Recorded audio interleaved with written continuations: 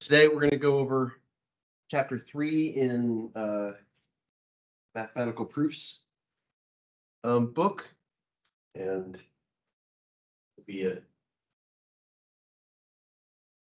general overview of the chapter uh, for an asynchronous day, I guess. So, Chapter three is all about direct proof and proof by contrapositive.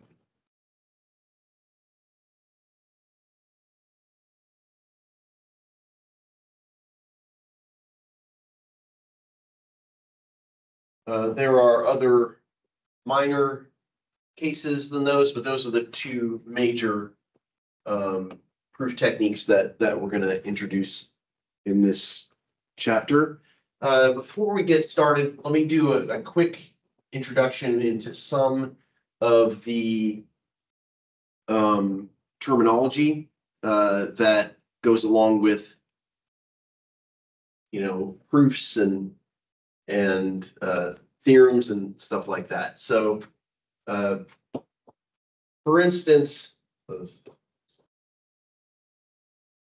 terminology, uh, a theorem, that's going to be a, um, or, sorry, we're, we're skipping it. We're going to talk about an axiom first. Axiom, uh, this is a mathematical statement that you hold to be true without proof. So this is mathematical statement held to be true without proof. Uh, it's like they're the hypotheses um, that you assume to, you know, build your entire framework of math on top of. Uh, there's a lot of discussion about how many axioms are necessary to uh, to you know build a mathematical theory on. Uh, there are some, uh, and these are mostly set theory uh, e- examples uh, or axioms. Um, for example, the axiom of choice is a act is an axiom that is somewhat uh, controversial because it can actually lead to um, paradoxes in uh, when when you right when you cut up a set in a really weird way. Um, it's quite possible to cut up the set into pieces um, where the original set had volume, say one, and the then you put the pieces back together again, and now the volume is two, which is like so weird. But for example, the axiom of choice is an axiom. And what is that axiom? It says that uh, if if I'm given a set uh, or a collection of sets, then I might be able to choose one element from each uh, piece, from each collection. So this is seems quite clear, like if you have a bunch of non-empty sets, you should be able to pick one element from each one if you want. Um, and so it, it's contra, not controversial in statement, it might be controversial in how it leads to, uh, a paradox later, but, uh, yeah, I, I'm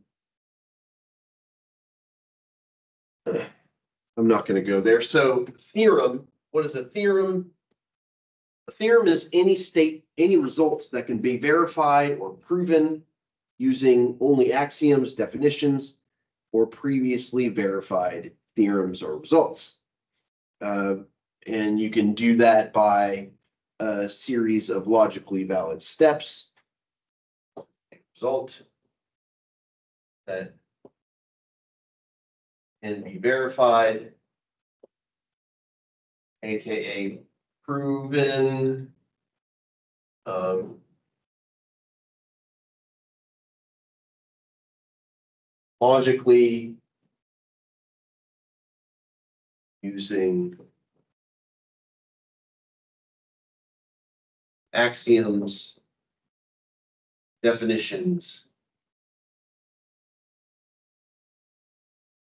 previously verified theorems. Results.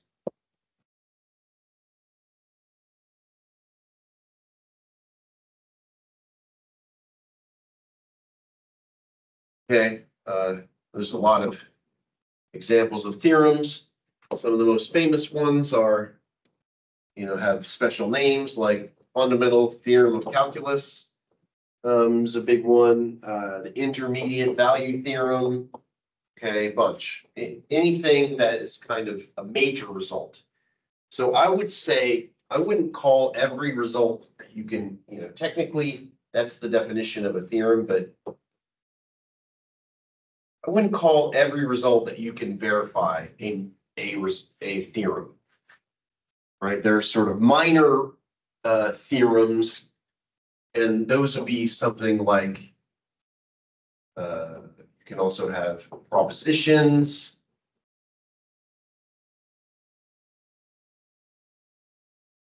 Observations. Okay, or examples.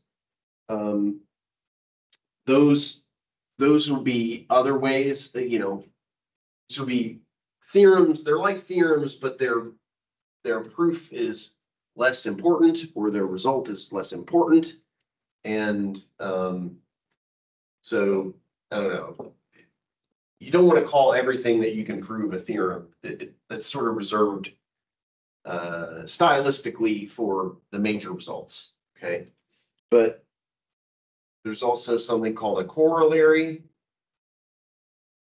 So this is uh, specifically a theorem um, or proposition or an observation that derives directly from another uh, theorem. So, so result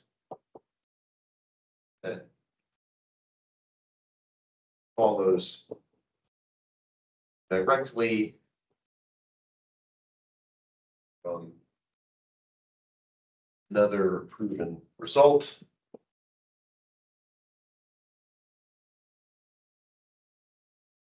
For instance, uh, there's a corollary to the intermediate value theorem um, that's called Rolle's theorem, okay?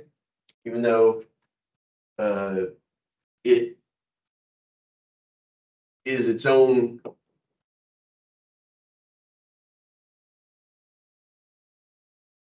results that, you know, was proven separately, so we call it Rolle's theorem, but this is a special case of the intermediate value theorem is a corollary to the intermediate value theorem, uh, because it is just a special case. Okay, the intermediate value theorem says that uh, if you have a continuous function that's differentiable, uh, you know, continuous on a closed interval, differentiable on an open interval, um, then, you know, the, in, there is an instant, there is a uh, derivative of the function whose value is equal to the, uh, the average rate of change of the function over the entire interval.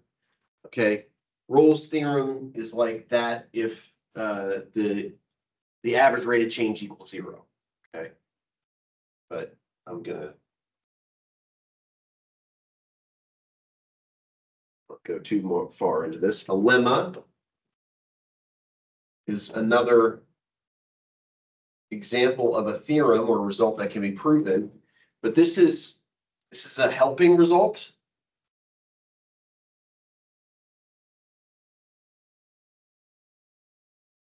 Okay, often it's harder to prove than the theorem that, that it, uh, you know, that uh, the corollary of a lemma, for instance, becomes the theorem because it is a better um, uh, statement or uh, easier to apply statement. The helping result um, that can be used to verify uh, a- another theorem. Okay. There's a, it's often a technical result.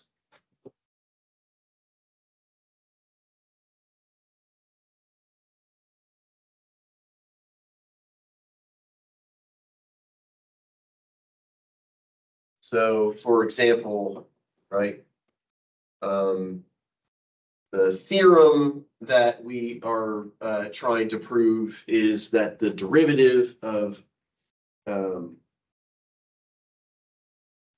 Sine is cosine, but the lemma is that. Um.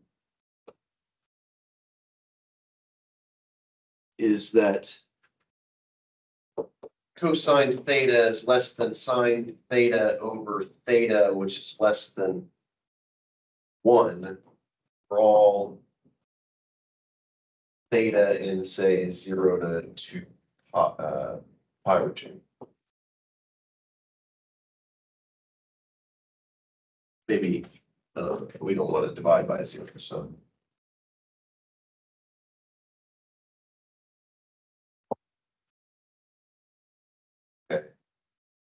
So in this way, we can use the squeeze theorem to find that the limit of sine theta over theta is one. And then we can use that. So that's like the theorem. And then we can use that to show that the, the derivative of sine is cosine. So anyway, it, this is a result. It's very important to show this result. But um, it- to state it as the theorem is just kind of it, it, it doesn't immediately show the significance. That's what uh, the lemma, that's when you would call it. Okay. And then um,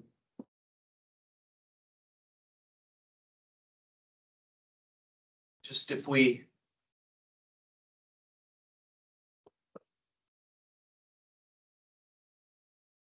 call this whole thing some terminology. Okay, then, uh, generally speaking, what we're gonna talk about is a direct proof. Okay, versus a contrapositive.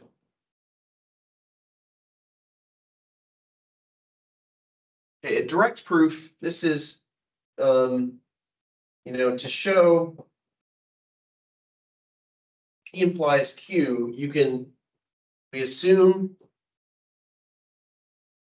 P, then uh, show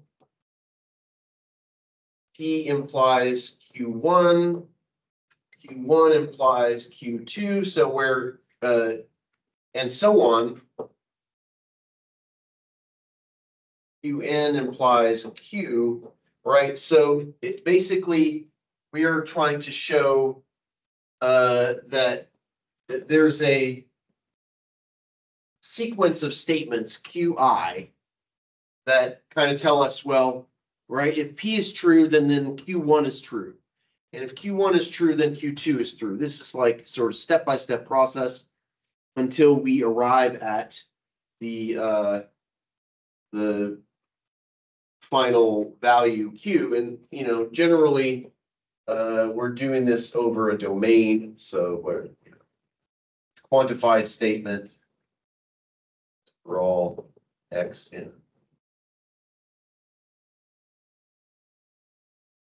So we assume that P is true for some arbitrary value of X. Okay. And then we show that Q is true. On the other hand, contrapositive, this is a direct proof as well.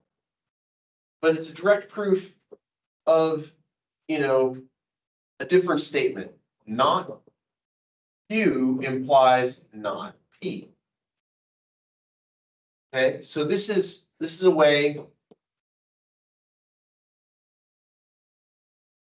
to show that P implies Q.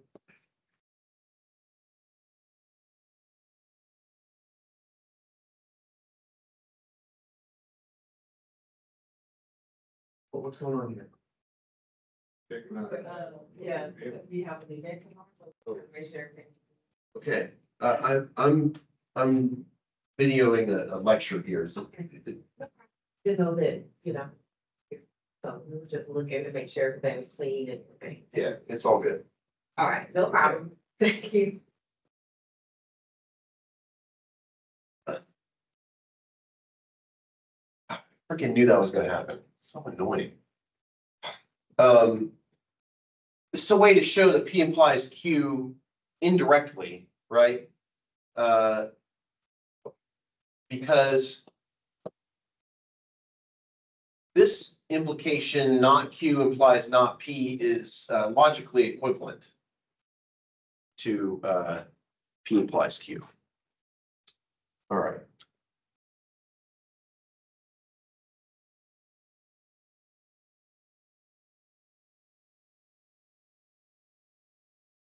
Okay, before we get to, to some examples of those, we're gonna do, um.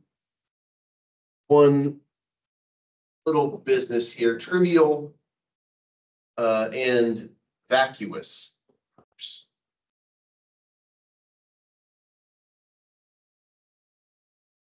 So recall. Uh, that the truth. Table for an implication goes this way, right? P.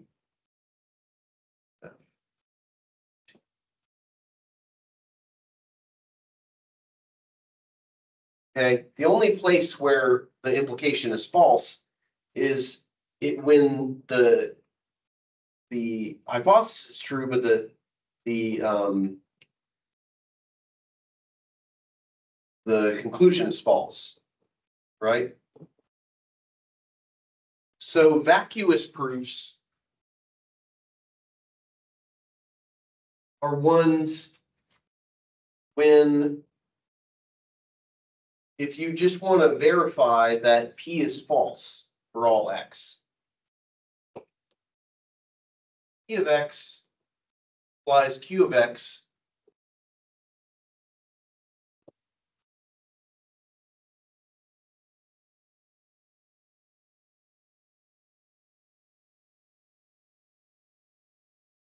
P of X is false.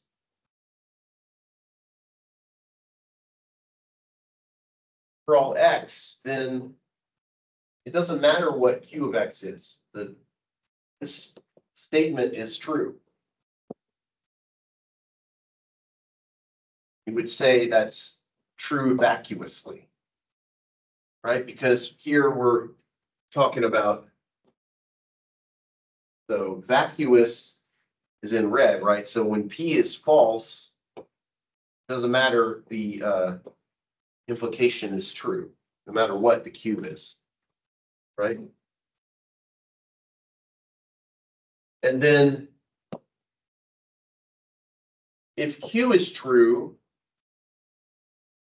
For all X, then the, the. Uh. Statement is true trivially.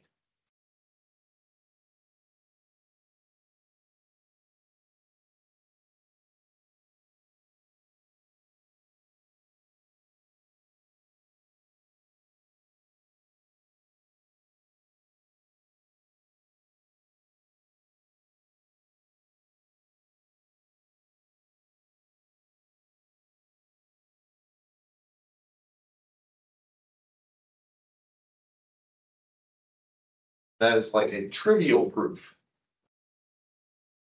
So if you are able to show that um, the conclusion is always true, no matter what.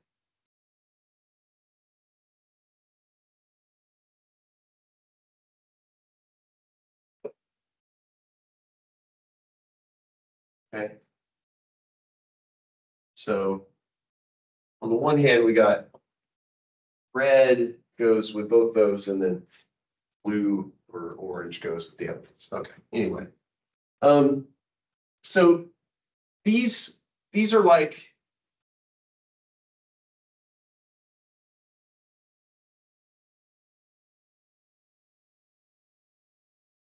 For instance. Um.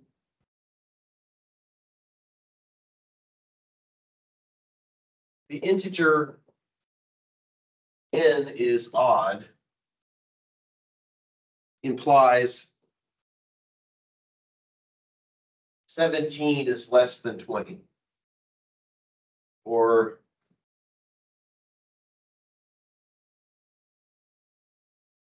Uh. Let. R be a. Positive rational number. Prove. That. If. R squared plus one over. R is equal to one, then. R squared plus two over. R is less than or equal to two. Note that we are not trying to show that R squared plus two over R is less than or equal to two. We're trying to prove this implication, right? So in the first one, right? This is always true, right? So it doesn't matter. It doesn't matter what the uh hypothesis was. P implies Q. If Q is always true, then P implies Q is always true. On the other hand, here. R squared plus one over R is never equal to one. Uh, for any rational number. So what, why is that? Well. Um. R squared. Uh, plus one over R, say we're equal to one, that would mean that R squared minus R plus one. Was equal to zero for a rational number, which it's not. Okay. Um, so we, we, this would be. A vacuous proof. We would have to verify that, right, that this is. Wanted to do a vacuous proof, we would have to. Say why that statement is always false. Um. Thing here, of course, that's pretty easy. Seventeen is less than twenty.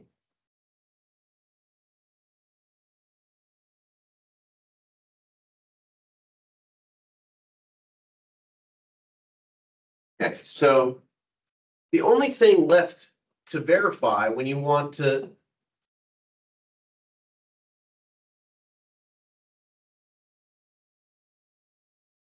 The only thing left to verify. If you're trying to show a, an implication. Is this last one. Um. Well, uh. If. P is true and Q is false. That's when the implication is false, right? So we will consider this. Uh, guy here. We do proof by contradiction.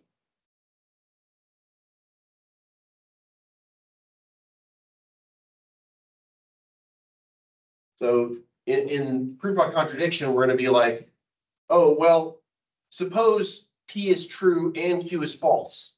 In other words, suppose that the implication is false.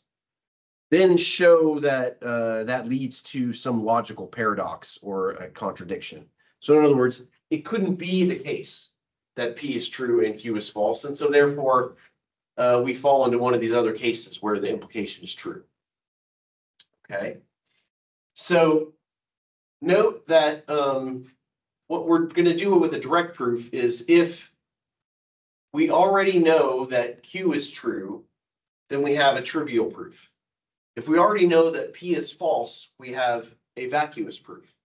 So the only thing left to verify that's necessary is assume that P is true and then show that Q is true.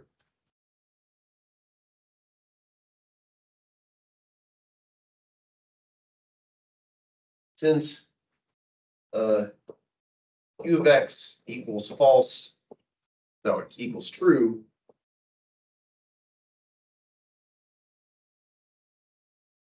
For all X uh, gives us a trivial proof. And P of X is false. For all X gives us a vacuous one.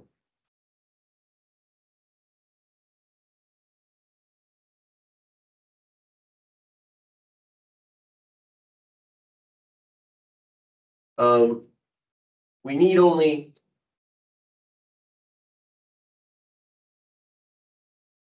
consider the X values in S where P of X is true. And then show that Q of X is true for that same value.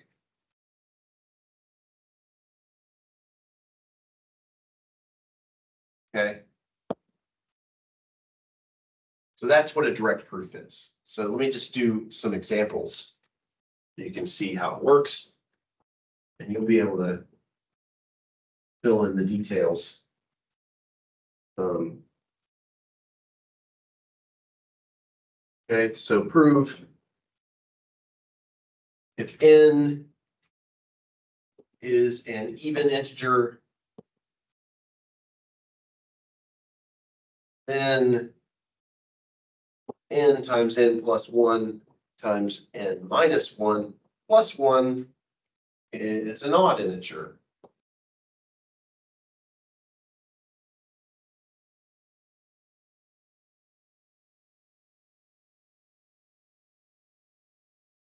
So we're gonna have to decide whether we're going to do this directly or by contrapositive. And since we're in the direct proof section, we're gonna do it directly, but we know that's the case because look, the P is N is an even integer, right? A Q is like some expression in N. Okay, so the first one is easier in some sense right? Less complicated. So we're gonna assume n is even.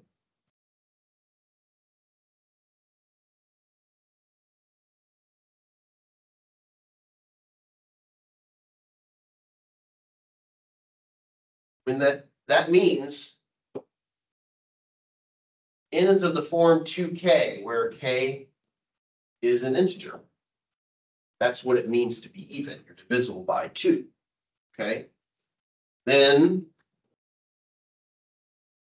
we plug what the formula is for n into that expression. So we get two k times two k plus one times two k minus one plus one.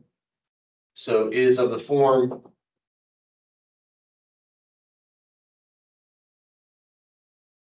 two times an integer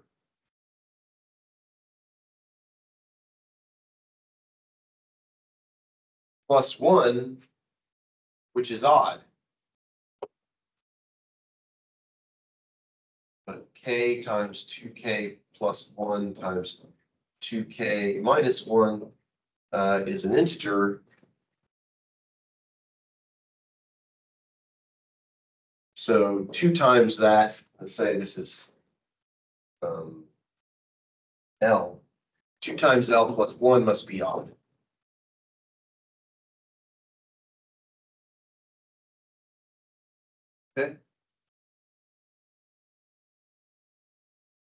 Another example.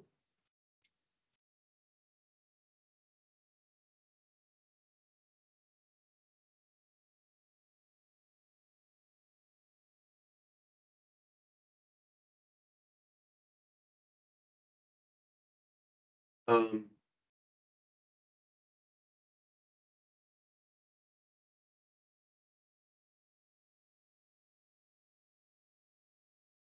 It, it, well, I mean, it turns out, actually, this result could be made stronger, okay? This thing, n times n plus one times n minus one plus one is an odd integer for any integer, turns out. Okay, we would have to show that by doing it in cases, which is a thing that we, we do at the end of this chapter. First, you would assume that n was even, we do this one. Then you would assume that n was odd and do, do a, a similar thing. So you can add, uh, you can make this, the, the, uh, statement stronger if you wanted to. But, uh, what if I said, uh, you know, let, or to prove if n is an odd integer,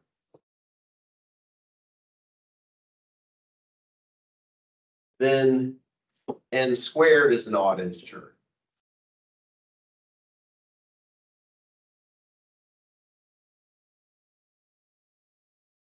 Okay?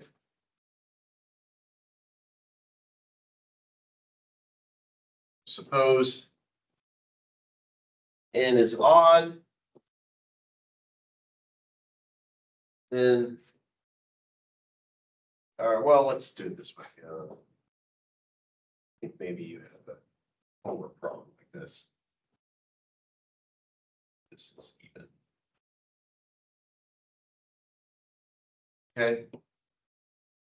So once again, n squared minus one is like an expression in uh. The variable n that's more complicated than the thing in P, so I'm, I'm gonna do a direct proof there.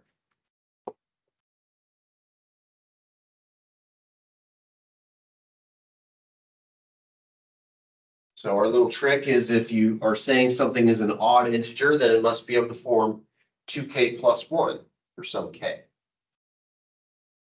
Then. Uh, sorry, n squared. Minus one. God. Tons of emails. Leave me alone. Two K plus one squared minus one, and then I would just FOIL it all out. Four K squared plus four K plus one minus one is equal to two times two K squared plus two K, right? Is even. Since K is an integer means that two K squared plus two K is an integer, right?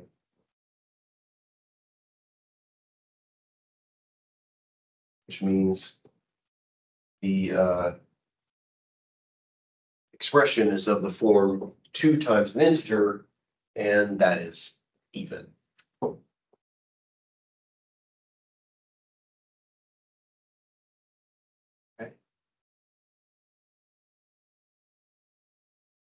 Section three point three, we have proof by contradiction, or proof by contrapositive. And this is just a a um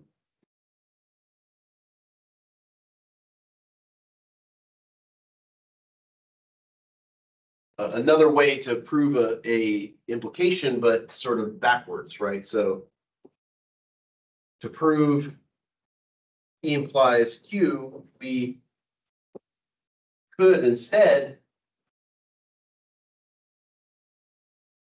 prove not Q implies not P using a direct proof.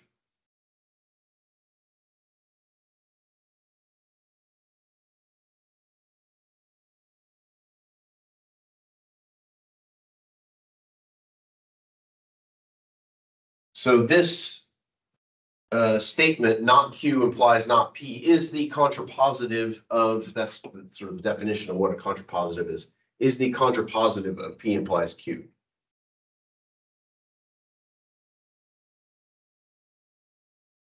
Quote unquote contrapositive statement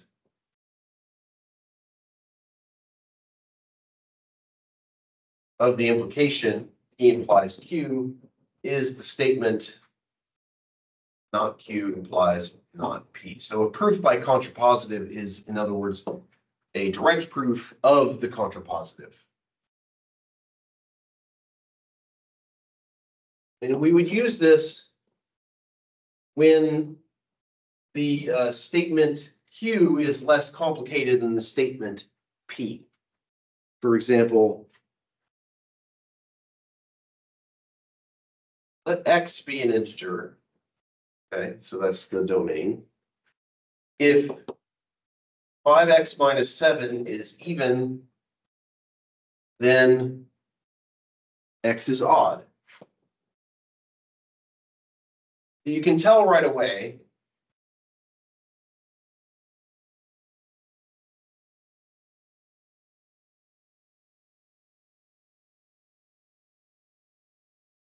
that this is less complicated.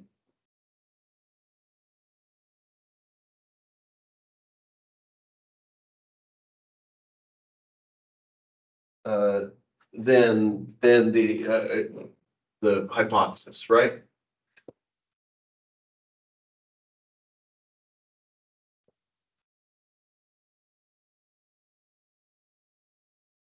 And then this one's more complicated.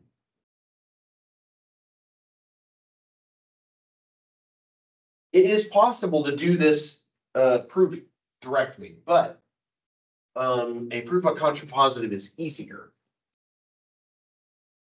Um, we will proceed using a proof by contrapositive. Note that adding that, that sentence is not necessary usually, but, um, you know, when you start out, right, you want to be very clear, okay? So we're going to assume that X is not odd. In other words, assume that X is even.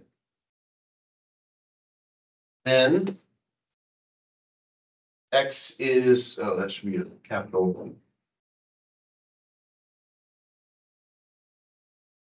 X is of the form two K, and so five X minus seven is five times two, uh, K.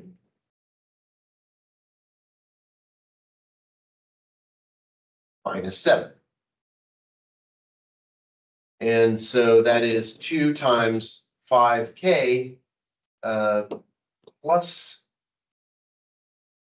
four, no, no, plus three, plus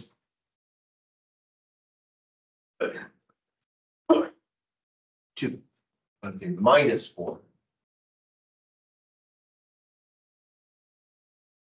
Inside the parentheses, so plus one,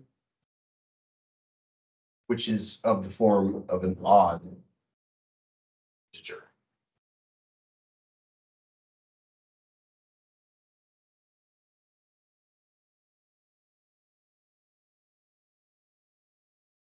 Now, here is theorem, theorem three point twelve. Okay, this says let X be an integer. Then the integer X squared is even if and only if X is even. Okay, so this is a bi, bijective statement, right? Um, so we need to prove both directions.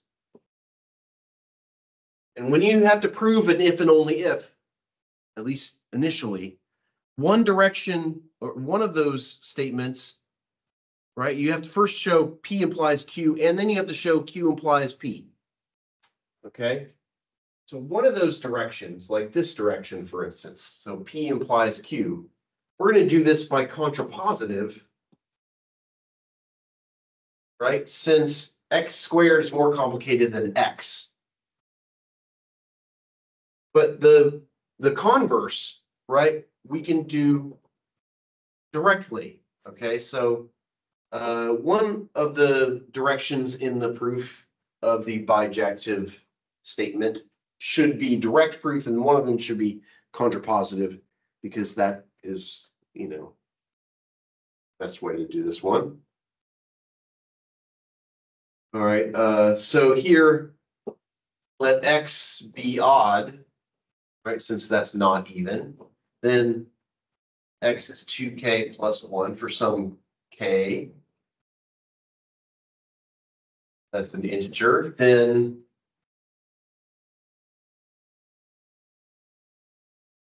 Thus, uh, x squared is two k plus one squared, which is, um,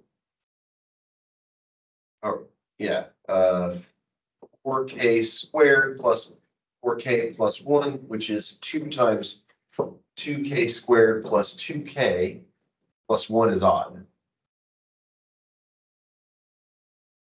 Right, so that means that if x is odd, then x squared is, is odd.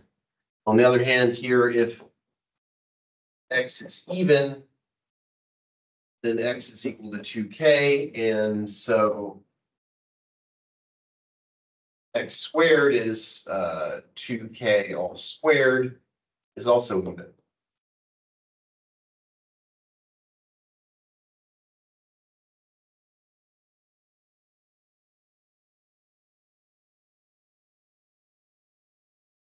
Okay, so we show both uh, directions. All right, uh, the last section in this chapter is called a proof by cases.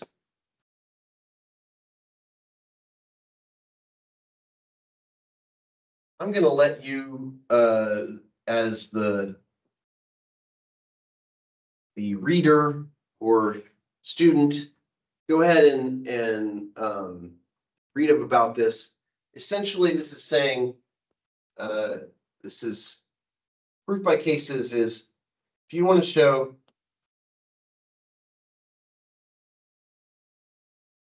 for all x in S, P of x implies Q of x, it is sometimes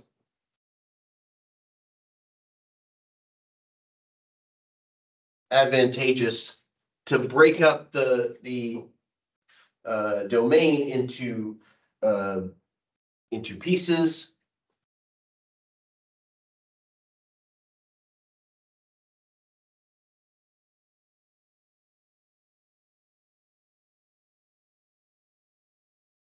Break up S into a partition.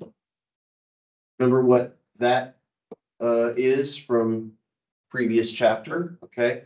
So we're going to partition the the thing into uh some uh collection of non-empty sets. S one, S two, up to S L, um, and then prove P of X implies Q of X for X in S one and in S two and in S three up to S L. I'll do those all separately. So for instance, show that n times two n plus one times two n minus one plus one is odd. All integers n, okay? So proof, we would do case one is let n be even. Okay? So that is the thing we proved up here.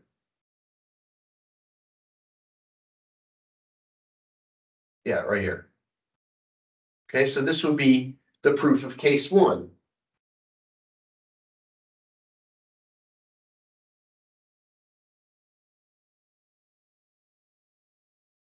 The above for proof.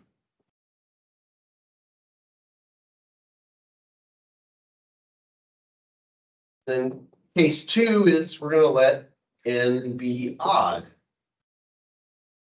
Okay, and we just get, so. N times two, uh, so that's supposed to be two N.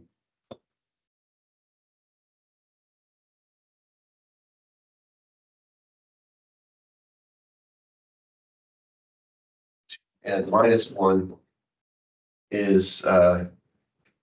Two K plus one times two times two K plus one. Times. Two times two K plus one minus one, okay?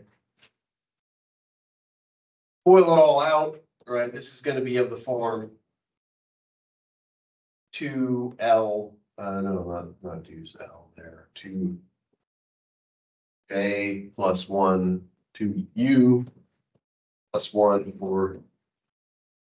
Some integer U, uh, I'm not gonna do out those details. Okay?